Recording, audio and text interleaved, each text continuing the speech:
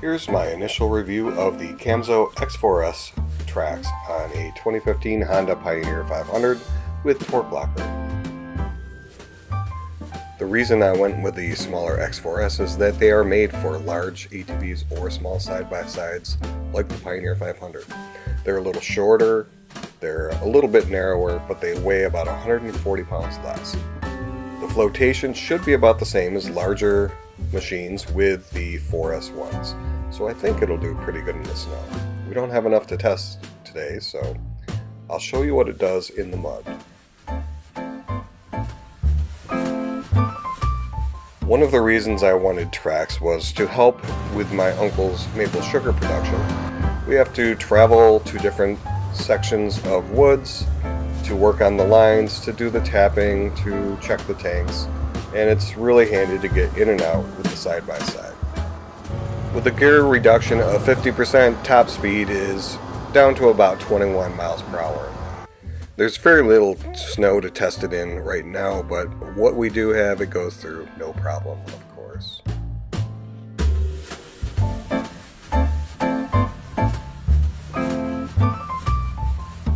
I was a little concerned about how harsh the ride would be, but so far, putting through the woods like we normally do, it's only a little bit harsher than with the wheels. The wheels offer some cushion, but the tracks are not bad.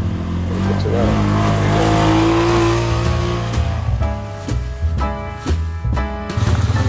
One issue with tires is the big tractor ruts that are left by the larger tractors ripping through the mud.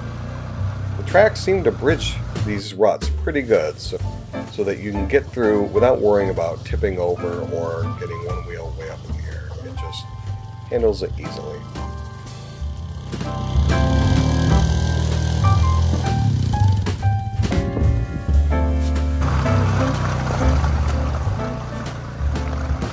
Get back into the main sugar bush, there are a number of logging trails that get pretty beat up with the tractor pulling big tanks through. This year is not as bad as many years,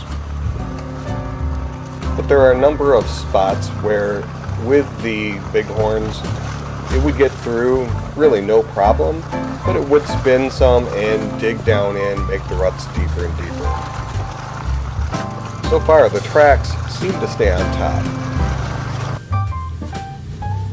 So I thought I'd share some video of the side-by-side -side going through some of this rough terrain with the X4S tracks.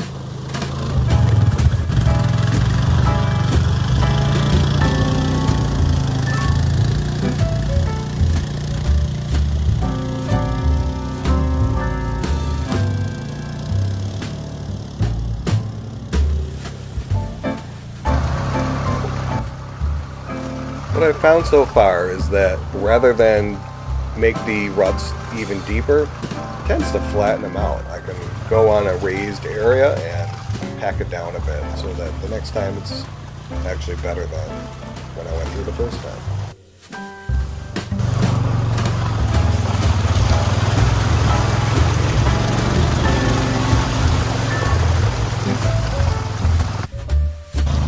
Today I found that one of the remote sap collection tanks was only partially full, so I headed down with the side-by-side -side with a 35 gallon container on it, went to the collection tank and filled it up by bucket.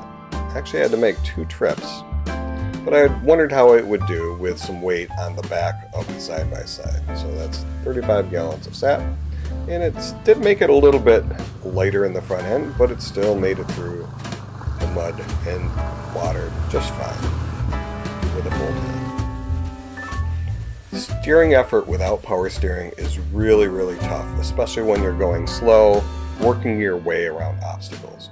Since this is one of my use cases, I'm going to add power steering over the summer so that I have it for both in the sugar bush and when we have deep snow.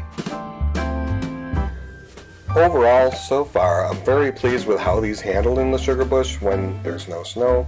I'm sure they'll do great with snow. And with power steering, it's going to be a dream setup. They don't dig down in, they don't seem to tear it up any worse. Um, they just work, and that's what I'm looking for.